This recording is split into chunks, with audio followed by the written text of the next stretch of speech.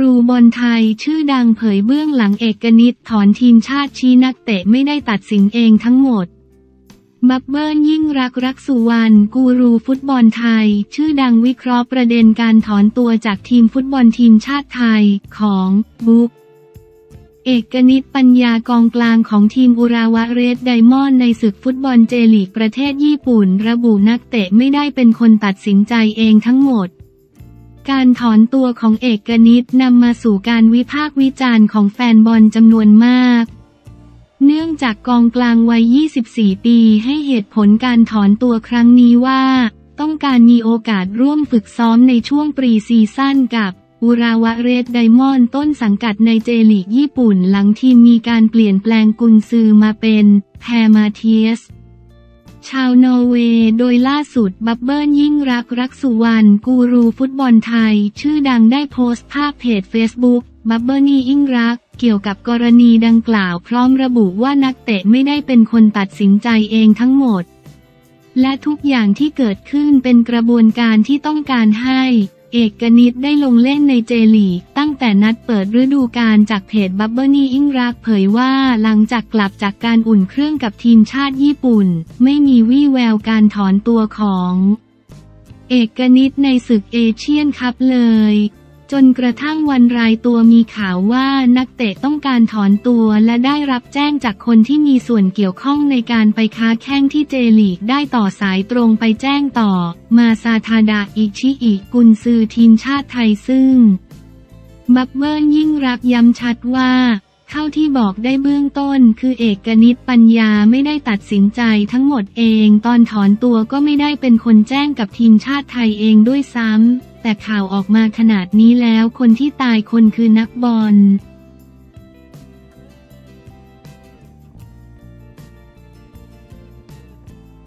ที่สั่งล่ามสุภโชค ลั่นรู้ละเอียดกรณีเอกนิตถอนทีมชาติต้นต่อไม่ใช่สโมสรจากประเด็นร้อนที่ บุ๊กเอกนิษฐ์ปัญญาแนวรุก ช้างศึก ฟุตบอลทีมชาติไทยขอถอนตัวจากทีมชาติชุดเอเชียนคัพ 2023 ที่ประเทศกาตาร์ โดยให้เหตุผลว่าต้องการอยู่ปรีซีซั่นกับอูราวะเรดไดมอนด์ต้นสังกัดในเจลีกที่มีการเปลี่ยนแปลงกุนซือใหม่ ล่าสุด ที่สังทิวาพลสังคพันล่ามของเช็กสุภโชค สารชาติ ดาวเตะทีมชาติไทยของสโมสรคอนซาโดเล่ ซัปโปโรทีมในศึกเจลีก เช่นกันได้โพสต์เฟซบุ๊กส่วนตัวติเวปอลซุงกพันระบุว่า กรณีของเจ้าหนังสือผมว่าผมรู้หมดทุกอย่างละเอียดแล้ว ต้นตอไม่ได้มาจากสโมสร แต่มาจากการพูดคุยของคนที่เสมือนเอเย่นต์ของน้อง จนข่าวออกไปแล้วนั้นแล้วน้องโดนถล่มของนี้ไม่มีผิดมีถูก ถ้าทุกอย่างออกมาจากนักบอล แล้วประสบการณ์จะสอนน้องเอง อย่างไรก็ตาม หลังจากโพสต์ดังกล่าวเผยแพร่ไปได้ไม่นาน ก็ถูกลบออกไปทั้งนี้หลังจากเอกนิตถอนตัวมาซาทาดะอิชิอิกุนซือชาวญี่ปุ่นได้ตัดสินใจเรียกตัวพิชาอุตราอีกหนึ่งดาวเตะจากเมืองทองยูไนเต็ด เข้ามาติดทีมชุดนี้แทน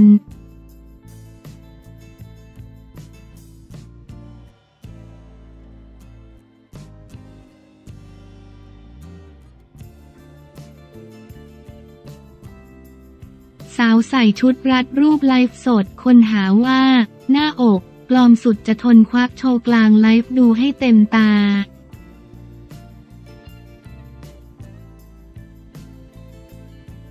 สาวเดือดจัดใส่ชุดรัดรูปไลฟ์สด แล้วคนหาว่าเป็นของปลอม พูดเท่าไหร่ก็ไม่ฟังงานนี้ขอแก้ปัญหาควักให้ดูกลางไลฟ์ ปัจจุบันการไลฟ์สดเป็นที่นิยมและมีการแข่งขันสูง หลายคนจึงนิยมใช้ฟิลเตอร์เพื่อดึงดูดยอดผู้ชม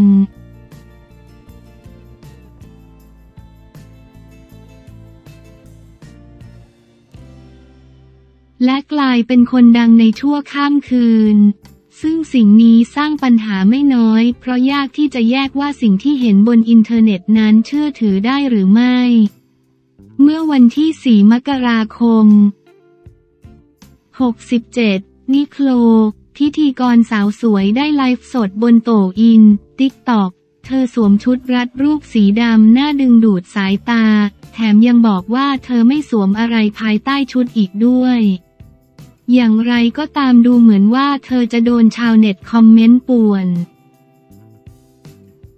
ราะพวกเขาบอกว่าหน้าอกเธอใหญ่ก็จริง แต่ดูปลอม ซึ่งไม่ว่าเธอจะพูดอธิบายเท่าไหร่ก็ไม่มีใครฟัง เมื่อหุ่นของเธอถูกตั้งคำถามและถูกวิจารณ์ซ้ำแล้วซ้ำเล่า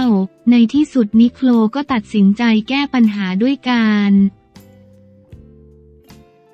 รูปซิปเสื้อลงด้วยความโกรธ และวินาทีต่อมาทุกคนในไลฟ์ก็ได้เห็นหุ่นของเธอเต็มเต็มตา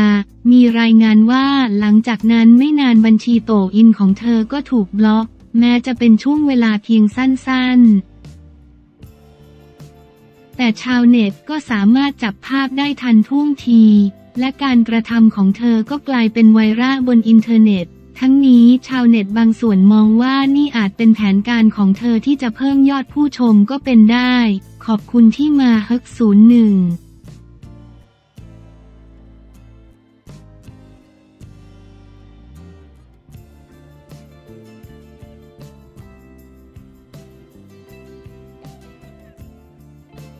มทเอาจริง สั่งผู้ว่าราชการจังหวัดคุมเข้มสถานบริการห้ามเปิดเสียงดังรำคาญขู่ฆ่าราชการอย่าเพิกเฉยปลัดมหาดไทย สั่งการผู้ว่าราชการจังหวัดทุกจังหวัดเข้มมาตรการป้องกันเสียงดังรบกวนจากสถานบริการอย่างเคร่งครัด หากดื้ออาจถูกสั่งปิด 5 ปีลั่น เอาผิดวินัยและทางปกครองไม่มีละเว้น หากข้าราชการเพิกเฉยเมื่อวันที่ 8 มกราคม 2567 นายสุทธิพงษ์จุลเจริญปลัดกระทรวงมหาดไทยเปิดเผยถึงการป้องกันและแก้ไขปัญหา กรณีการเปิดให้บริการของสถานบริการและสถานประกอบการที่เปิดให้บริการคล้ายกับสถานบริการ ซึ่งมักก่อให้เกิดความเดือดร้อนรำคาญจากเสียงดัง ทำให้มีเรื่องร้องเรียนร้องทุกข์จากประชาชนผู้พักอาศัยในบริเวณใกล้เคียงว่า ตนสั่งการไปยังผู้ว่าราชการจังหวัดทุกจังหวัดเร่งสร้างการรับรู้ให้ผู้ประกอบกิจการ ถือปฏิบัติตามกฎหมายว่าด้วยสถานบริการและกฎหมายอื่น ๆที่เกี่ยวข้องหากมีกรณีเรื่องร้องเรียนเกี่ยวกับการก่อให้เกิดความเดือดร้อนรำคาญทางเสียงกับประชาชนผู้พักอาศัยบริเวณใกล้เคียง ให้หน่วยงานที่เกี่ยวข้องในระดับพื้นที่ เข้าตรวจสอบระงับเหตุ และแก้ไขปัญหาตามอำนาจหน้าที่โดยเร็วนายสุทธิพงศ์กล่าวต่อว่า หากปล่อยปละละเลยของผู้ประกอบการ ให้เจ้าพนักงานตามกฎหมายที่เกี่ยวข้อง สั่งให้เจ้าของหรือผู้ครอบครองสถานบริการหรือสถานประกอบการ ปรับปรุงแก้ไขเหตุเดือดร้อนรำคาญทางเสียงให้เสร็จภายใน 30 วัน ระหว่างปรับปรุงแก้ไขดังกล่าว ให้หยุดใช้เสียงที่ก่อให้เกิดความเดือดร้อนรำคาญนั้นไว้ก่อน และหากครบกำหนดเวลาแล้วยังไม่ปรับปรุงแก้ไขให้ถูกต้อง สามารถสั่งเพิกถอนใบอนุญาตหรือสั่งปิดและห้ามไม่ให้เปิดสถานบริการหรือสถานประกอบการในสถานที่ดังกล่าวอีกเป็นเวลา 5 ปี กรณีสถานประกอบกิจการอื่น ๆ ที่ก่อเหตุเดือดร้อนรำคาญทางเสียง ให้แจ้งเจ้าพนักงานตามกฎหมายว่าด้วยการสาธารณสุขลงพื้นที่ตรวจสอบ เฝ้าระวังควบคุมและกำกับดูแลให้คำแนะนำแก่ผู้ดำเนินกิจการปรับปรุงแก้ไขตามระยะเวลาที่กฎหมายกำหนด หากไม่ดำเนินการ ให้เจ้าพนักงานตามกฎหมายว่าด้วยการสาธารณสุขดำเนินการตามอำนาจหน้าที่โดยเคร่งครัด ทั้งนี้ให้ผู้ว่าราชการจังหวัดทุกจังหวัดกำชับหัวหน้าส่วนราชการ ข้าราชการพนักงานและเจ้าหน้าที่ผู้รับผิดชอบในการรับเรื่องร้องเรียน ติดตามและแก้ไขปัญหาเรื่องร้องเรียนที่เกิดขึ้นให้เสร็จโดยเร็ว กรณีที่ปรากฏว่ามีการเพิกเฉย หรือละเลยไม่ดำเนินการตามกฎหมายของเจ้าหน้าที่ ให้ผู้บังคับบัญชาของเจ้าหน้าที่ผู้นั้นพิจารณาดำเนินการทั้งทางอาญาและทางปกครองอย่างเฉียบขาดและรวดเร็ว และให้รายงานผลการดำเนินการในเรื่องดังกล่าวให้กระทรวงมหาดไทยทราบด้วย นายสุทธิพงศ์กล่าวว่านอกจากนี้ตนยังสั่งการไปยังนายอันสิทธิ์สัมพันธรัฐ อธิบดีกรมการปกครองให้ดำเนินการตามข้อสั่งการของนายอนุทิน ชันวีรกูล รองนายกรัฐมนตรีและรัฐมนตรีว่าการกระทรวงมหาดไทย โดยกำชับนายอำเภอทั้ง 878 อำเภอทั่วประเทศเพิ่มความเข้มงวด ดูแลความสงบเรียบร้อยในช่วงการขยายเวลาเปิดสถานบริการตามกฎกระทรวงกำหนดวันเวลาเปิดปิดของสถานบริการ ฉบับที่ 3 พศ 2566 ห้ามปล่อยปละละเลยในการหมั่นตรวจสอบ ตรวจตราความเรียบร้อยของสถานบริการและสถานประกอบการที่เปิดให้บริการในลักษณะที่คล้ายกับสถานบริการให้ดำเนินการเป็นไปตามกฎหมายอย่างเคร่งครัด โดยเฉพาะการห้ามพกพาอาวุธปืนห้ามมีสารเสพติด